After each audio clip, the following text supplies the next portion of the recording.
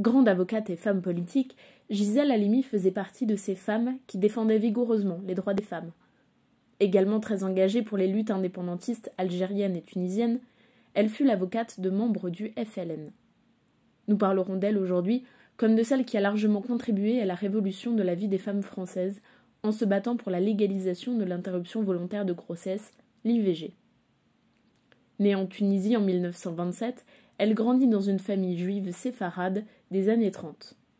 Dans sa famille, sa sœur et elle doivent servir ses deux frères ainsi que ses parents. À 13 ans, elle entame une grève de la faim pour protester contre le fait de servir ses frères plus vieux qu'elle. Au bout de huit jours, alors qu'elle s'affaiblit, ses parents cèdent. Et je me souviens que ce soir-là, dans un petit cahier que j'ai collé mon journal, j'avais mis J'ai gagné mon premier morceau de liberté, disait-elle sur France Culture en 2011. Très tôt, elle se demande la raison de cette différence de traitement entre les filles et les garçons, les femmes et les hommes. Très tôt, donc, elle décide de ne pas être dépendante des hommes.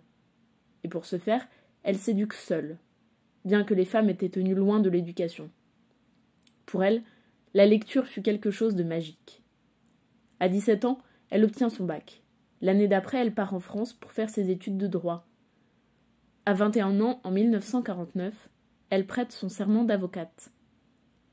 Dans les années 50, alors qu'elle défend les indépendantistes algériens et tunisiens, elle est l'avocate d'une femme, Jamila Boupacha, militante du FLN. Cette femme subira des tortures physiques et des viols de la part de soldats français, afin de lui soutirer des aveux sur un attentat qu'elle aurait commis. Le dossier traîne volontairement, donc Gisèle Halimi décide de porter plainte contre le commandant supérieur des forces armées en Algérie, le général Ayeré ainsi que contre le ministre des Armées, à l'époque Pierre Mesmer. Grâce à cette plainte, le dossier est médiatisé. Pablo Picasso dessine Jamila Poupacha. Ce dessin contribuera à la défense médiatique et juridique de cette femme qui échappera à la peine de mort. En 1971, elle est la seule avocate à signer le manifeste des 343. Ce manifeste, cette tribune, est signé par des personnalités publiques déclarant avoir déjà avorté dans leur vie et réclamant la légalisation de l'IVG ainsi que le libre accès aux moyens de contraception. Alors que les avocats sont censés respecter la loi parfaitement, étant donné qu'ils en connaissent les tenants et les aboutissants, Gisèle Halimi considère que, parfois, il faut s'élever contre la loi afin de la faire évoluer. En 1972, elle se fait largement connaître en tant qu'avocate de Marie-Claire, accusée d'avoir eu recours à une IVG après son viol.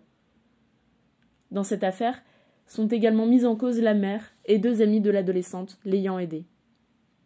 Ce procès, également appelé procès de Bobigny, ouvrira la voie au débat sur l'IVG et contribuera largement à la promulgation de la loi Veille sur l'interruption volontaire de grossesse, deux ans plus tard.